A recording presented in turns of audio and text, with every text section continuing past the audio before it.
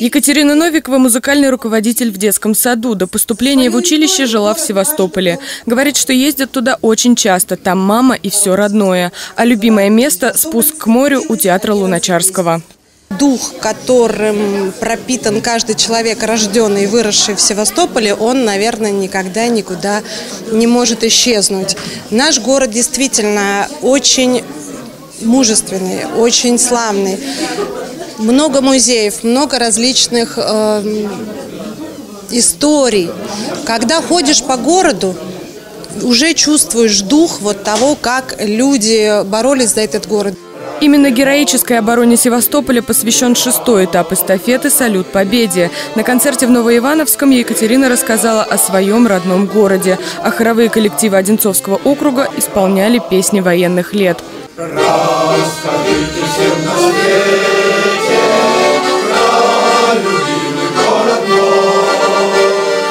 Владимир Алексеевич поет в хоре «Ветеран» с 2011 года. Его задача не из легких, ведь петь вторым голосом очень непросто. Признается, полюбил музыку еще в школьные времена, когда играл в ансамбле русских народных инструментов. Сейчас он с большим удовольствием поет уже всем известные песни и разучивает новые. Мы э, с удовольствием там поем, с удовольствием отдаем свои силы и набираемся сил. И набираемся здоровья, самое главное – мы же тренируемся, это вот то, что вы видели, это такой элемент.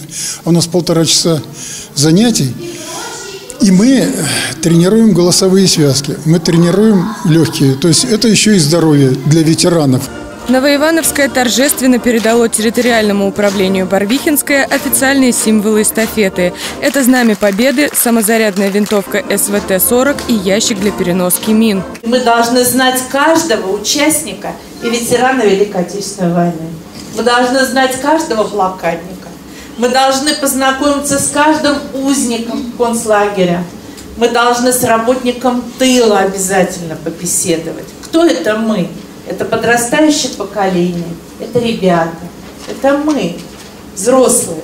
Уже совсем скоро мы отметим 75-летие Победы в Великой Отечественной войне. Проект «Салют Победе» стал частью подготовки к этой великой дате. Символично, что география проведения эстафеты в этом году расширилась. К Одинцовскому округу присоединились Руза и Власиха. Елена Морозова, Станислав Трифонов, телекомпания «Одинцова».